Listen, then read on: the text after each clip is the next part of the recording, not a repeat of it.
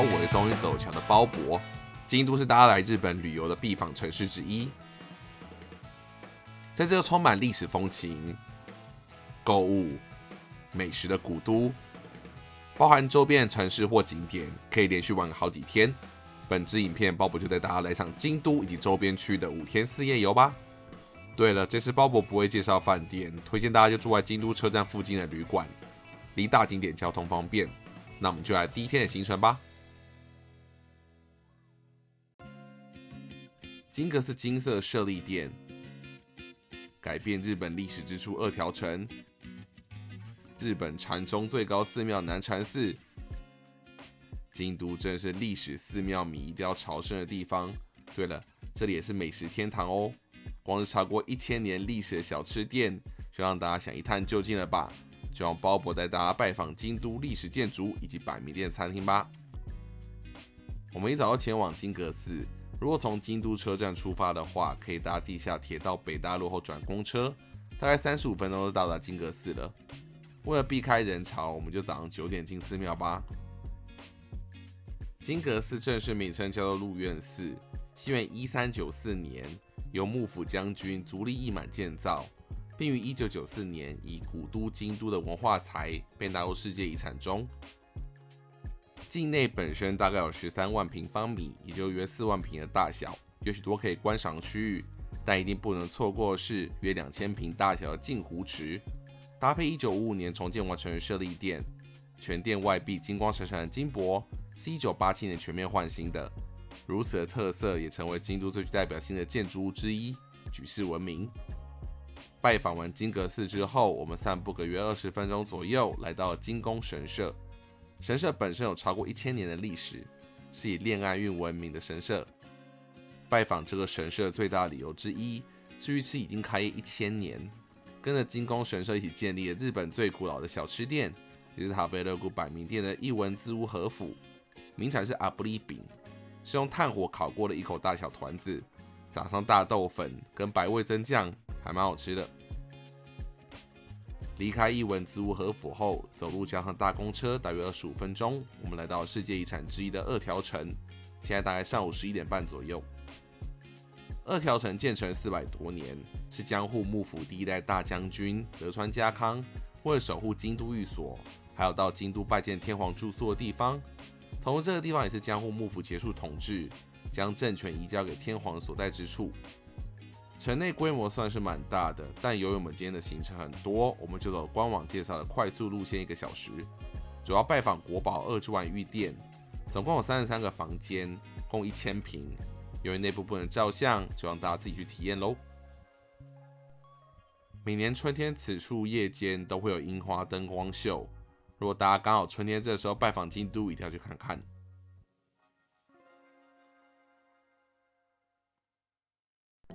离开二条城，我们走二十分钟，来到甜点百米店 Assemblages Kakimoto，进到时尚的用餐区域，点了这家店的经典巧克力 Le Jardin Japanese Garden，在巧克力球上面淋上热腾腾带火的白兰地，等到巧克力融化之后。里面出现的是冰淇淋跟酸酸甜甜的莓果，这种能吃的艺术品真是好吃又好看。在这里休息一下，现在大概下午一点半，早上跟刚刚都吃过一点东西，所以我们就先不吃正餐，直接走路跟搭公车约二十五分钟，我们来到西元一二九一年创建的南禅寺。这里为日本禅宗最高寺院，作为空、无相、无座。三解脱门的三门为江户时代建造的重要文化财，非常的气派。也可以经过法堂看国宝方丈。另外很特别的景点是红砖建造的输水，是明治二十三年所建，会将琵琶湖湖水引进京都市区，也是一个拍照打卡的景点哦。从南禅寺走个五分钟，可以发现一家超美的 Blue Bottle。整个风格绝对不输京都知名的二年版星巴克，大家可以在这里休息一下，喝杯咖啡，跟吃点点心。从蓝瓶咖啡走十分钟，我们来到平安神宫。虽然相对京都其他寺庙算是比较新，但是其美丽以及壮丽程度也非常值得拜访。神社是西元一八九五年为了纪念平安京诞辰一千一百周年所建造的。现在时间是下午五点半左右，我们来吃个正餐吧。我们来到京都第一名，也是塔贝乐谷百名店，Google 四点四分，鲍勃最爱的乌龙面店山原面藏。因为这家店六点多就关门了，所以我们才刻意不吃中餐，早点吃晚餐。手打乌龙面真的是 Q 啊，煎云蘸酱也是纯天然，炸嫩鸡胸肉超级多汁，炸牛蒡也香甜好吃，服务态度也很好。有中英文菜单，真的大大大推。吃完晚餐之后，我们的行程也大致结束了。但如果大家还嫌早，可以搭公车约十分钟，三条四条内逛逛街，购物一下喽。期待第二天的行程。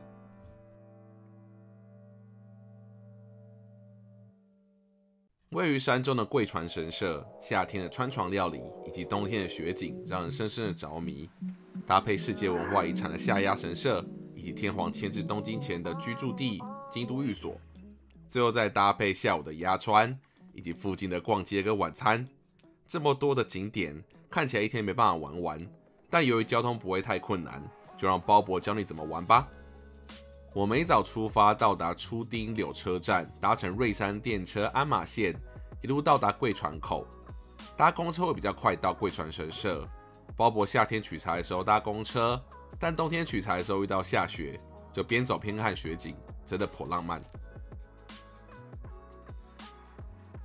贵船神社所祭拜的 Takao Kano Kami，在日本一千多年的古史、古记事以及日本书籍中都有出现过，是日本神话里的水神，带给众生赖以生存的宝贵水源。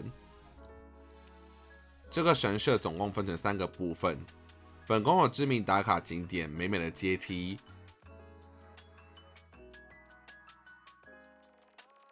爬完阶梯之后，可以看到这个神社也是会马的发祥之地。另外建议大家可以试试看有趣的水占卜，抽完签后把签文纸放在水中，文字便会慢慢跑出来。看不懂日文的话，还可以扫 QR 码看翻译。结社就是求姻缘的圣地，像鲍勃夏天是单身狗，冬天又交女友了，感觉真的有点灵验。奥宫就是贵船神社创建之处，被森林环绕。环境非常优美。逛完神社之后，在吃饭之前可以来杯饮料休息一下。我们来到装潢时尚的冰味咖啡，在这里点个抹茶牛奶跟日本甜点蒙娜卡吧。我们就在贵船的川床上吃个中餐。这里周遭大概有二十几家餐厅提供川床料理的服务。简单来说，就是在河的上方放置一个平台，然后就在平台上用餐。跟鸭川夏天的纳凉床差不多，但是贵船的川床离河更近。我们这次挑选的 Benia 位于贵船料亭街最前方的位置，距离其他餐厅都有点点距离，比较不会有前后都是餐厅人挤人的感觉。料理的部分是用当地的鱼以及山菜所做出来的金惠席料理，从前菜、汤、主菜到甜点，非常的丰富，不同的价位有不同的菜色。大家可以查查官网。冬天的时候没有川床料理，我们可以吃看拿卡优的豆腐锅，暖暖的，很好吃。我们用跟去程相同的方式回程吧。现在时间大概是下午一点左右，我们回到初丁柳车站下车，来到了下鸭神社。下鸭神社也是鹤茂玉祖神社的通称。下鸭神社也就是位在知名鸭川的南边。另外有趣的地方，日本神话中鸭川的源头为贵船神社，所以说我们今天的一日游，某种层面可以说是顺着鸭川往下玩哦。神社为世界遗产的一部分，据说有两千年的历史，然后一千三百多年前天武天皇时期完成了第一个建筑。境内有两栋国宝建筑以及三十一个重要文化财，是非常有历史意义的一个神社。在御守喜社有一个流出清水的小河川，在这里也可以体验跟贵船神社一样的占卜米兹米格吉。另外，纪念的和合神社有很可爱的祈愿会马，叫做敬会马，看大家创意画出不同的脸庞，真的很有趣。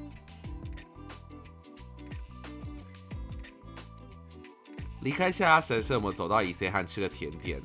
伊斯兰的阿米兹冰使用高级的抹茶蜜，搭配白玉、小豆，还有双麒麟，寒天 QQ 的食感更有加分的效果。稍微让脚休息一下后，现在时间大概是将近下午三点。我们走到伊斯兰附近的大景点京都寓所。简单来说，这里就是以前的皇居。从北朝开始，到一八六九年迁都东京前的历代天皇都住在这里。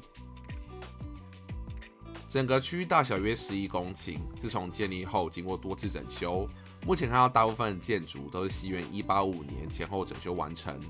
可以在这里花一个小时，连同京都御苑一起参观。时间已经接近傍晚了，我们往鸭川河畔散个步，往三条的方向走。腿有点酸的话，就在河畔休息一下，享受一下河畔边的清凉。接下来的时间，我们就在三条跟四条这里度过吧。肚子有点饿的话，可以走到锦市场，这里又被称为京都的厨房，有四百年的历史。在三百九十公尺的市场，有鱼货、生鲜蔬菜以及各种不同小吃。正式吃晚餐之前，就在这里吃点小点心吧。反正今天走那么多路，吃多了也不会胖啦，哈哈。这一带也是京都血拼的中心，大家可以乱走一下，买个纪念品。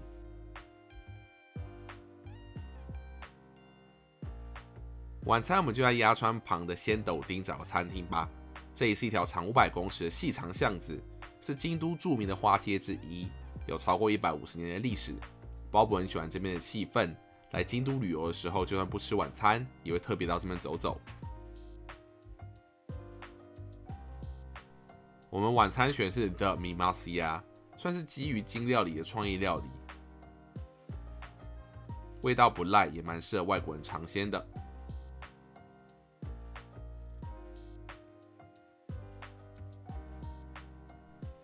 吃完晚餐，大家都应该已经累到爆炸了吧？但如果有人把咖啡当水喝，晚上睡得一样甜的人，鲍勃推荐咖啡百名店 Elephant Factory Coffee，是一家开到深夜一点的文青咖啡店。起司蛋糕真的非常好吃，当成一天结尾放松的地方。旅游来到了第三天，世界遗产东大寺为奈良旅游的必访景点。周边的春日大社以及新福寺皆位于奈良公园内，而位于京都宇治，除了有好吃的抹茶以外，也有世界遗产一部分的平等院。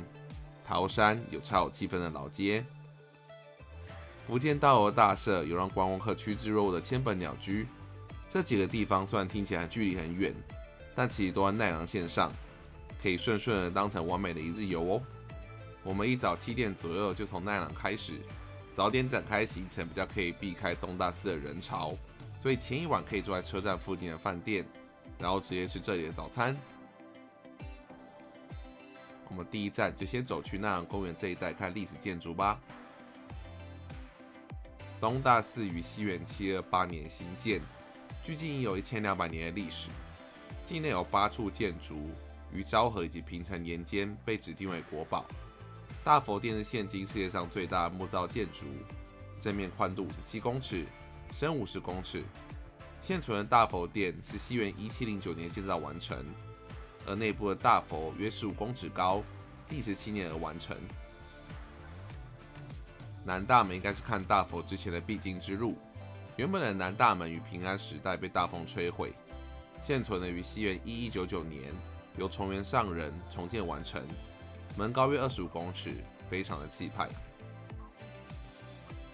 国宝二月堂奉是十一面观音，原本于西元一一八零年完成，但因战火二次损毁，后于一六六九年重建完成，并于西元二零零五年被指定为国宝。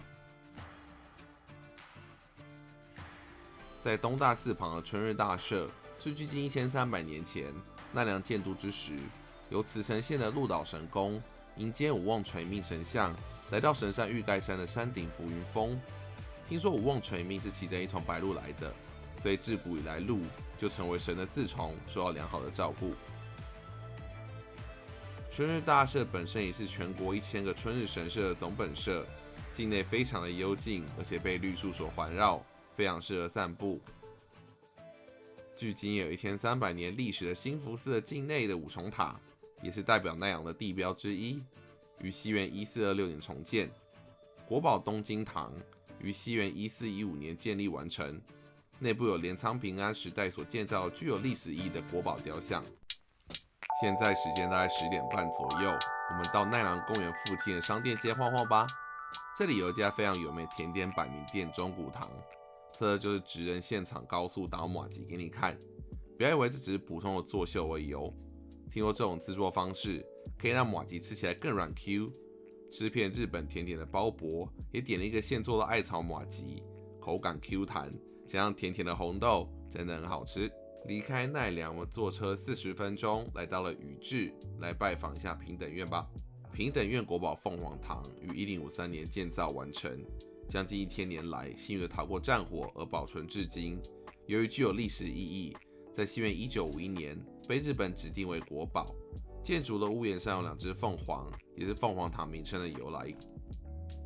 能够衬托出凤凰堂美感的最大工程，就是与平安时代完成的平等院庭园。春天的时候有樱花，夏天的时候有莲花可以欣赏。星巴克京都宇治平等院表参道店就直接开在平等院的旁边，室外室内都很漂亮。在樱花季的时候来访，可以在日式庭园喝咖啡赏樱。现在时间是中午时间，我们就在这里买个三明治充饥一下。在平等院对岸走路约十分钟的路程，就是另外一个国宝建筑宇治上神社。本店建于平安时代后期，是现存最古老的神社建筑。另外，旁边的国宝拜殿建立于镰仓时代前期，距今八百多年前完成。虽然宇治上神社比较起其他知名的神社，可能少了一点豪华感，但因为历史的重要性，让这两栋建筑于1952年被指定为国宝，也在1994年被指定为世界遗产的一部分。从早到现在，已经吃了不少东西。但感觉还可以再吃点甜点。中村藤吉本店是一家已经开一百六十年的老铺。本店是明治时代的茶商宅邸，非常有特色，而且景观很好。我们点了宇治本店限定的马路托帕菲、火鸡茶生茶接力，还有串冰。甜点装在竹子里面，真的超有感觉，而且分量很大，每挖一口就有不同的惊喜。再喝一口现泡的茶，真幸福。吃完下午茶，现在在四点，我们搭乘十五分钟的车子，从宇治来到桃山站。如果爱喝酒的人应该知道月桂冠日本酒，福建就是这里月桂冠本社的所在地。但无论喜不喜欢日本酒，这酒藏老街也非常适合散步跟拍照。四田屋是坂本龙马曾经住过的旅馆的旧址，对江户末期历史有兴趣的朋友们可以拜访这里。那我们在桃山这一区大概待个一个小时左右。现在大概下午五点出头，我们从桃山搭乘两站五分钟来到道河站，也就是世界知名福建道河大社所在地。这里二十四小时都可以参观拜访，所以晚一点到避开人潮或许也不错。这里起源于西元七一一年，是全国共有三万座道河神社总本宫。据说关系七年参拜人数最多的地方，包含西元一四九九年重建的本殿，今年有不少重要文化财。这区最有名的千本鸟居是从江户时代开始，参拜者捐献鸟居给神社，而这些鸟居就架设在本殿通往道尔山山顶奥舍的路上，形成超有美感的景色，怎么样拍都漂亮。拜访完福建道和大社，大概也是晚餐时间了。我们搭乘两站五分钟，来到京都车站附近，晚餐也吃个拉面吧。如果要说京都最有名的拉面店之一，那就非本家第一序塔嘎巴西的本店莫属了。这家店真的是永远大排长龙，可能也是因为太知名了，营业时间也是直接从凌晨开到深夜。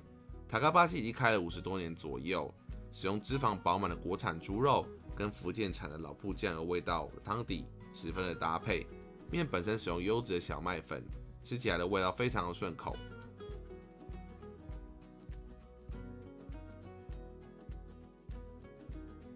虽然大家应该都已经累到爆了，但如果仅存一些体力的话，推荐回饭店之前看看京都车站的夜晚。如果百货公司还没关的话，可以趁机爆买一些纪念品。那京都车站本身就是一个艺术品，大家可以在车站看一下夜景，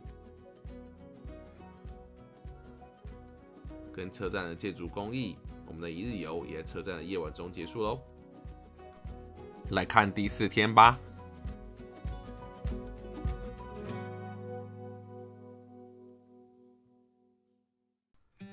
提到京都，就不得不提清水寺以及周边的几个大景点吧。但为了让京都游更多元化，早上我们先拜访距离京都车站大概五十分钟车程的位于滋贺县的国宝燕根城吧。我们预计早上九点左右到达燕根城。燕根城的历史可以追溯到西元一千六百年，由当时日本战国时代的武将，也是德川四天王的锦衣执政下令建造。于西元一六零三年开始动工，前前后后总共花了二十年左右才完成。现在看到的燕根城基本上保存了四百年前的样貌，非常的具有历史价值。一九五二年，天守也被列为国宝之一，然后也是现存十二天守之一。在这里跟大家科普一下，日本虽然城堡不少。但少数的城堡为现存天守，指的是日本城郭中保有江户时代以及更早之前修筑的天守。由于天守为木造建筑，很容易因为战争、大火或者建筑老旧而损毁，所以目前只有十二座。所以像大阪城或者冈山城等等的知名天守，其实也都是二战之后才重建完成的。这十二个现存天守对日本来说都有极重要的历史意义。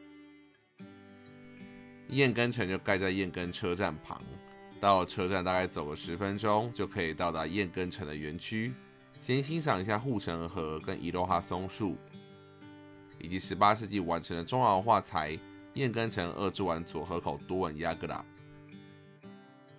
从表门山道一路往上爬，可以看到中华画材燕根城天秤亚格拉，是一个紧急时御敌用的廊下桥为中心。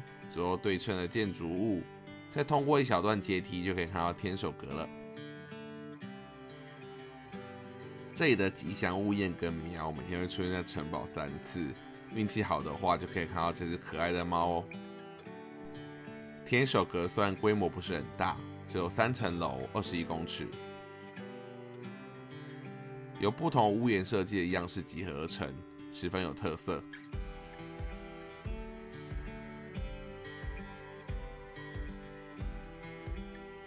我们就登上天守，远眺琵琶湖的景色吧。离开天守后，往前走，来到中王画材燕根城西之丸三重亚格拉，这里是防止西面敌人攻击所建造的楼层，景色非常好，也可以远眺琵琶湖以及天守阁。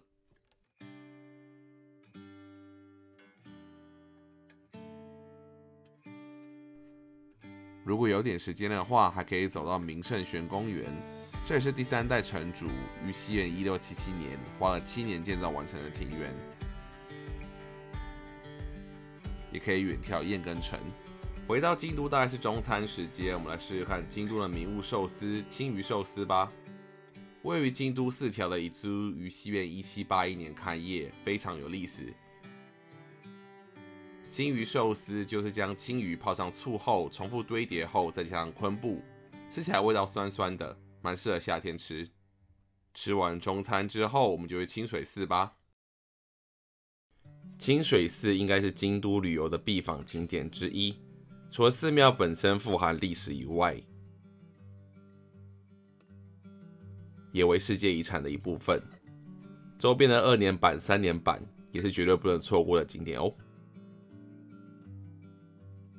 清水寺离清水五条站走路约二十五分钟的路程，大家也可以选择从奇缘四条走过去，虽然会走比较久一点，但可以经过火宝八坂神社、一年版、二年版、三年版等等的景点。清水寺开创于西元的七七八年，距今有超过一千两百年的历史了，境内约十三万平方公尺。大概有大安森林公园一半的大小，包含了国宝在内，总共约有三十个大大小小的文化财。那国宝本堂采无殿顶，或是日文的祭洞灶，是中国、日本、朝鲜古代建筑的一种屋顶样式。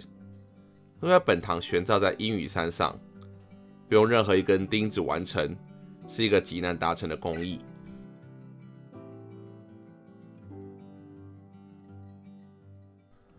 本堂凸出来的一块就是大家所熟知的清水舞台，高约十三公尺，大概是四层楼高。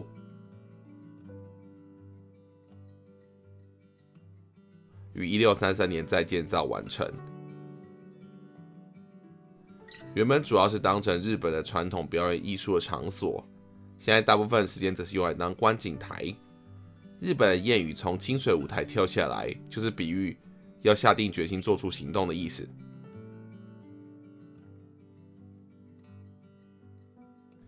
境内还有很多大家常在网络上看到的知名建筑。仁王门就是清水寺的正门，于十六世纪建造，高十四公尺，宽十公尺，是重要文化财。奥之院跟本堂一样，于一六三三年重建完成，也是悬造在阴雨山上，也是重要文化财。也有一个舞台可以观赏京都的美景。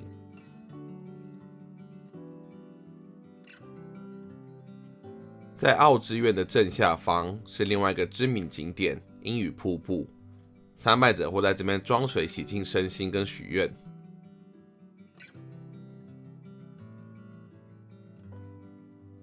紧邻清水寺是另外一个有名的神社，叫做地主神社，也是世界遗产的一部分。大部分的建筑皆于一六三三年建造完成，也都是中华文化财，可以在这里求恋爱运哦。清水寺周边有很多不错的茶屋，大家可以坐在这边休憩喝绿茶，然后享受甜点，真的是体验日本的极致。鲍勃推荐一家在茶湾版的 Satsuki 亭，于明治十八年开幕到现在，已经超过一百三十年的历史，可以远眺清水寺的重要文化财三重塔。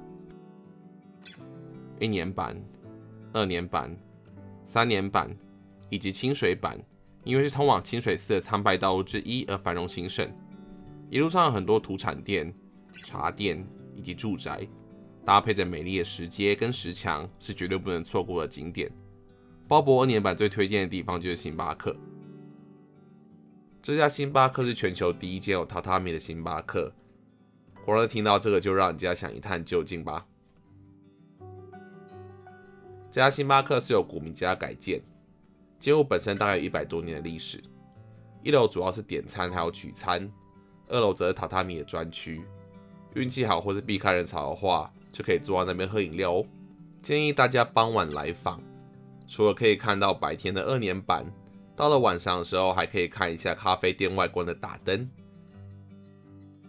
也可以趁晚上其他店家都已经结束营业的时候，在没有什么路人的二年版、三年版散步。体验一下悠闲的京都夜晚。如果晚上运气不错的话，可以走到应岩坂附近的高台寺。春夏秋冬某几个时段会有夜间的特别参拜，晚上的打光真的非常的精彩。有些地方还会有灯光秀。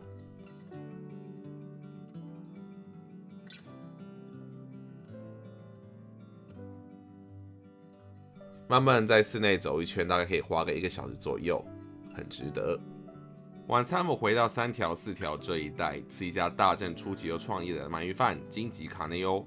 店铺保存了当时的建筑，所以光是店铺本身就很值得拜访。鳗鱼饭加了大分量的蛋在饭上，掀开蛋之后可以看到鳗鱼及白饭，有趣又好吃。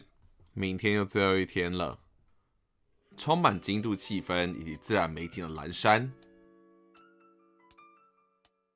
日本最高的木造建筑东寺的国宝五重塔，东西本院寺，看到京都城市风景的京都塔，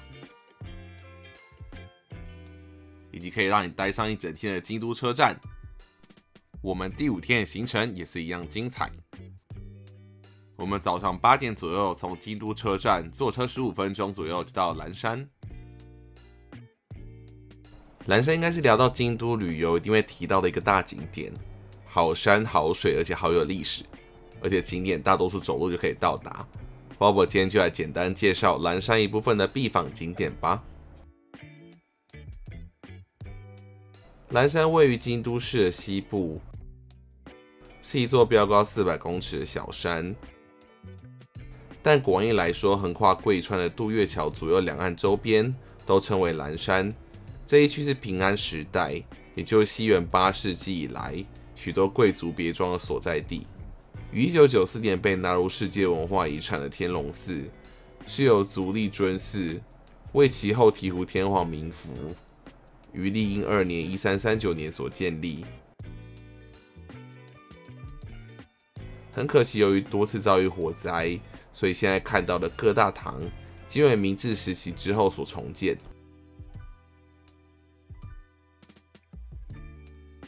寺庙的腹地非常的大，而且四季都有各自的美好。鲍勃拜访的时候是初夏，刚好可以欣赏到可爱的绣球花。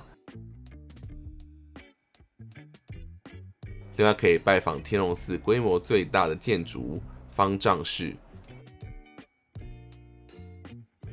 坐着欣赏对面日本最早指定的历史遗迹特别名胜曹原池，日本感十足。蓝山这一带还有许多风景优美的寺庙，那鲍勃这里就不一一介绍，等大家自己去发掘喽。想到蓝山，大家应该也会联想到蓝山竹林吧，也是京都最具标志性的景观之一。虽然只有短短两百公尺左右，但密集又高耸的竹子，让人仿佛置身在一个不同的世界。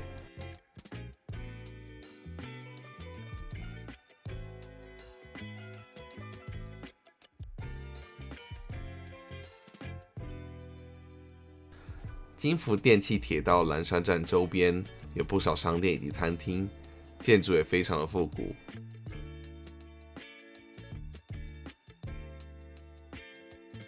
也可以看看知名打卡景点有禅的光临，有机会一定要晚上来看看。从这里散步到渡月桥，体会一下平安时代贵族边散步边看贵川河水的悠闲风雅气氛。真有日本感。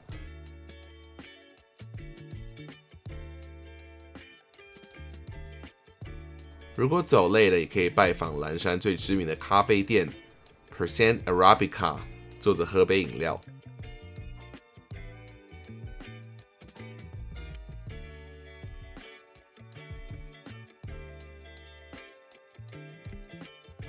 现在大概是中午，我们搭车回京都车站来吃个中餐。我们来吃京都车站附近有名的拉面板名店新福菜馆。这家店已经开业八十几年了，特色非常深色的酱油，但味道很咸，叉烧非常软嫩好吃。吃完中餐，我们前往车站附近的必访国宝东寺。距离京都车站走路约十五分钟的东寺。应该是京都地理位置最方便的国宝，同时也是市区的赏樱名所之一，是一个都已经来京都了，真的不去很可惜的景点。西元七九四年，日本首都迁至京都，首都的大门口有个巨大的门，入口的东边跟西边都各有一个巨大的寺庙。虽然西边的寺庙已经不复存在，但东边的寺庙东寺。就在此屹立不摇的待了超过一千两百年。虽然东寺的主要建筑经过多次地震跟火灾损毁，但重建之后的建筑都保持原有创建时的模样。在寺庙中散步，有着回到过去平安金刚创立的时候的感觉。东寺有四栋国宝建筑，但碍于取材时间，鲍勃只拍摄了其中两个。东寺的金堂重建于一六零三年，是寺院内最宏伟的建筑物，融合了日式跟印度的建筑样式，非常有特色。与旁边的中华文化财讲堂一起观赏，真的很有庄严感。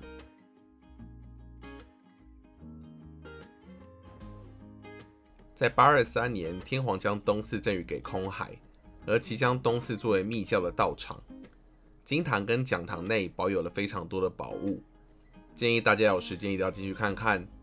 那由于内部禁止拍摄，大家只好自己实际去看喽。国宝五重塔是那场供奉佛陀舍利的建筑物，也是日本第一高的木造建筑，高达五十五公尺。最初五重塔是为九世纪建立完成，后来经过四次烧毁，现在的塔是五代目，为一六四四年建立，搭配春天的樱花真的很漂亮。大家可以走远一点到庭园拍摄绿树、樱花、金堂、五重塔的美景。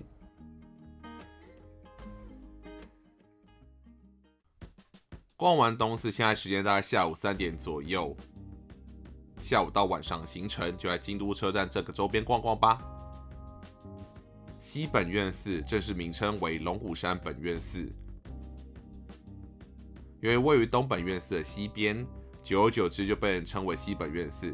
建于一五九一年，境内有许多国宝建筑，也为世界文化遗产的一部分。东本院寺建于西元一六零二年。正式名称为真宗本庙，但由于位于西本院寺的东边，久而久之就被称为东本院寺。虽然战国时代与西本院寺纷争后分家出来的寺庙，东本院寺曾经在江户时代发生火灾而四次损毁。现在看到的多数建筑都在明治时代重建而成的。京都塔就位于京都车站对面，算是京都最知名的地标之一。于西元一九六四年启用，本体高一百三十一公尺，大家可以乘坐电梯到一百公尺的展望台看风景。由于京都市区没有高楼大厦，所以可以毫无遮蔽的看京都的国宝哦。我们最后回到京都车站逛逛。四代目的京都车站于西元一九九七年完成，为京都市的玄关，每天使用人数共六十万人。除了搭车人数很多以外，京都车站也有饭店、百货公司、观景台以及美食街，玩个几个小时绝对没有问题。晚餐我们就在车站内的哈西塔店用餐，这家店在日本阿用的塔贝勒哥拿到高分三点七七分，在 Google Maps 也有四点一分。料理是以冻饭或是面类为主，算是有很多经典菜色的日本料理店，味道非常的柔顺好吃。鲍勃特别喜欢他们的青鱼寿司，不会太酸，然后可以吃出淡淡的饭的甜味。以这家店做一日结尾真不赖。这次精彩的京都五日游也结束喽，我是鲍勃，大家下次再见，拜拜。